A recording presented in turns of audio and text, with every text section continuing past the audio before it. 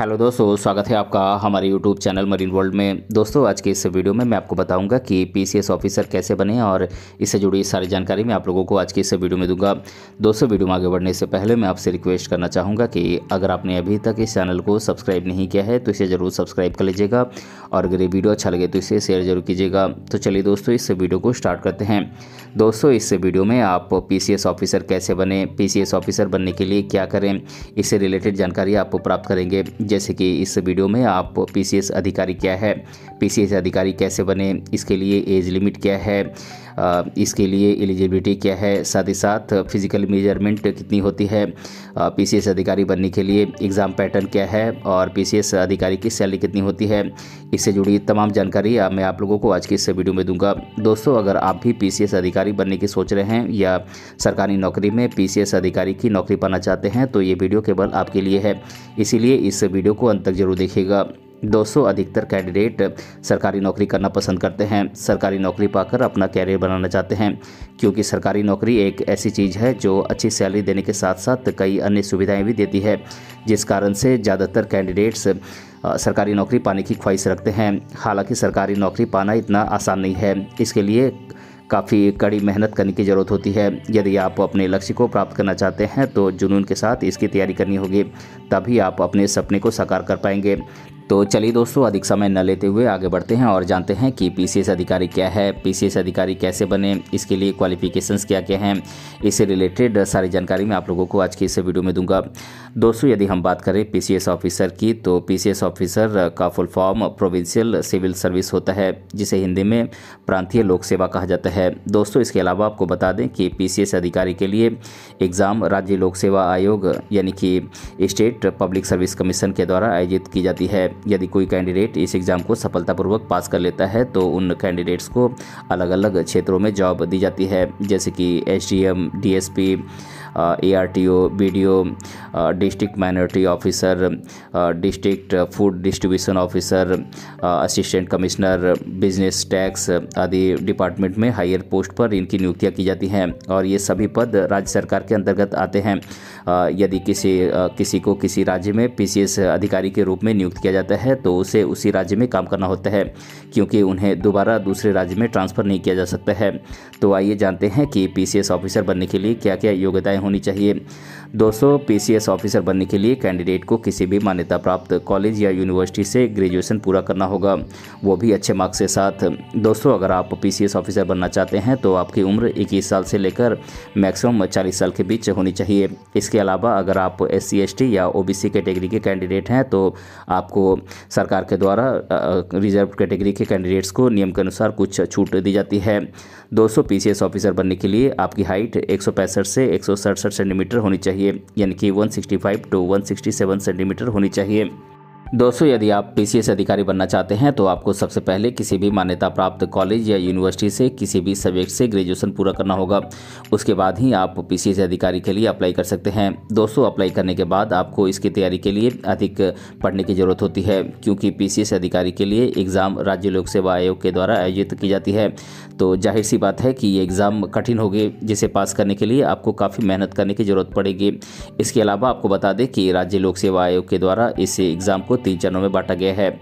जैसे कि prelims exam, mains exam और इंटरव्यू के रूप में ये एग्ज़ाम ली जाती है। दोस्तों यदि आप पीसीएस अधिकारी बनना चाहते हैं तो आपको राज्य लोक सेवा आयोग के द्वारा आयोजित इन तीन चरणों की इस एग्ज़ाम को आपको अच्छे मार्क्स के साथ क्वालिफाई करना होगा।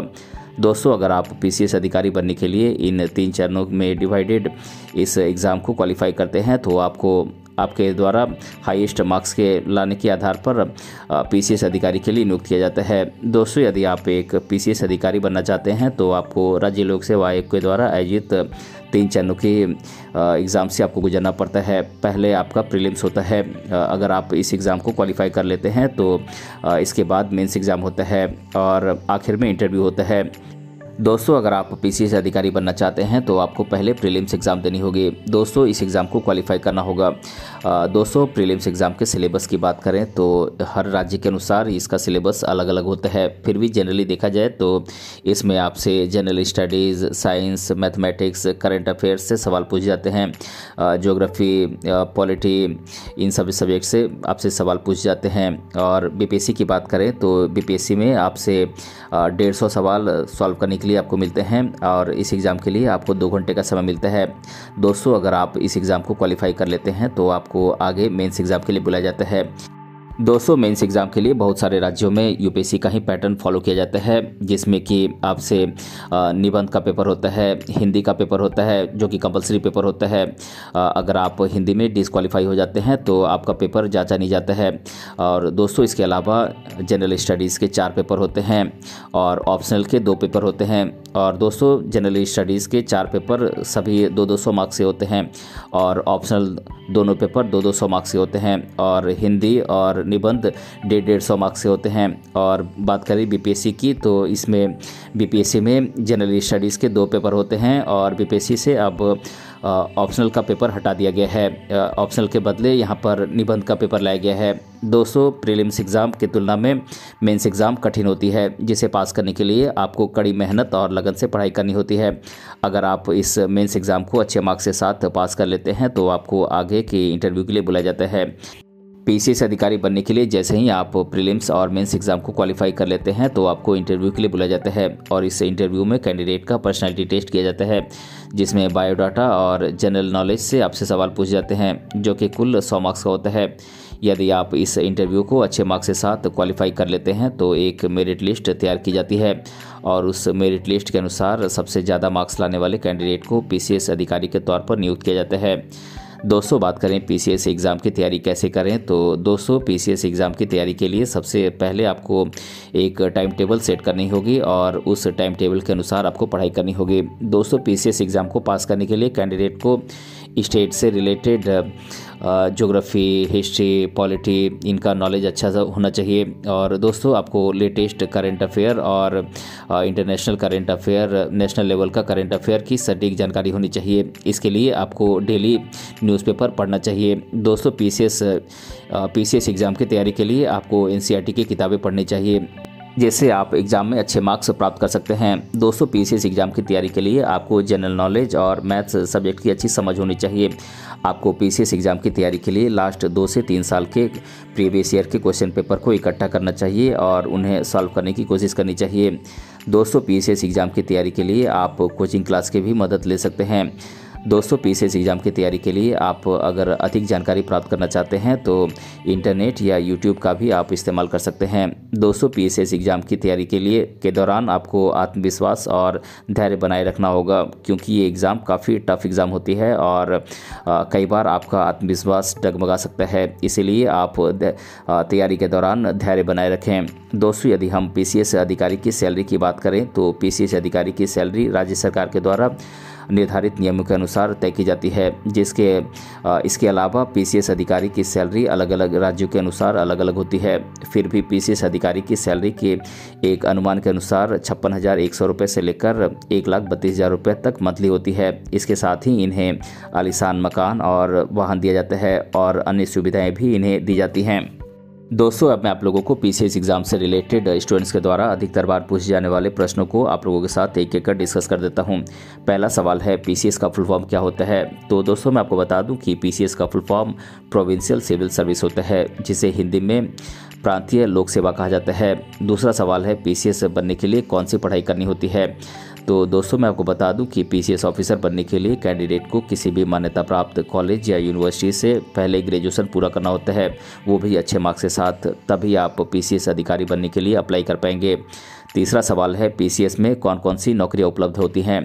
तो दोस्तों, मैं आपको बता दूँ कि पीसीएस एग्ज़ाम में सफल होने के बाद कैंडिडेट को हायर पोस्ट पर नियुक्त किया जाता है, जिसमें SDM DSP ARTO BDO district minority officer, district food distribution officer assistant commissioner business tax आदि पदों पर आपको नियुक्त किया जाता है। दोस्तों, इस सर्विस के तहत लगभग छप्पन से अधिक पद आते हैं। चौथा सवाल है पीसीएस एग्ज़ाम किसके द्वारा आयोजित की जाती है? तो दोस्तों, मैं आपको बता दूँ कि पीसीएस एग्ज़ाम राज्य लोक सेवा आयोग, यानी कि स्टेट पब्लिक सर्विस कमीशन के द्वारा आयोजित की जाती है। और पांचवा सवाल है पीसीएस अधिकारी की सैलरी कितनी होती है? तो दोस्तों, मैं आपको बता दूँ कि पीसीएस अधिकारी की सैलरी राज्य सरकार के द्वारा निर्धारित नियमों के अनुसार तय की जाती है और इनकी सैलरी अलग अलग राज्यों के अनुसार अलग अलग होती है। पीसीएस अधिकारी की सैलरी छप्पन हज़ार एक सौ रुपये से लेकर एक लाख बत्तीस हज़ार रुपये तक होती है। और जैसे जैसे इनका एक्सपीरियंस इस क्षेत्र में बढ़ता जाता है वैसे वैसे इनकी सैलरी भी बढ़ती ही जाती है। तो दोस्तों, आज के इस वीडियो में मैंने आप लोगों को बताया कि पीसीएस ऑफिसर कैसे बने और इसके बारे में मैंने आप लोगों को आज की इस वीडियो में डिटेल से बताया है। दोस्तों, अगर आपको ये वीडियो पसंद आया है तो अपने फ्रेंड के साथ इसे ज़रूर शेयर कीजिएगा और अगर आप चैनल पर नए हैं तो इसे ज़रूर सब्सक्राइब कीजिएगा। मिलते हैं अगले वीडियो में किसी अन्य टॉपिक के साथ। तब तक के लिए धन्यवाद।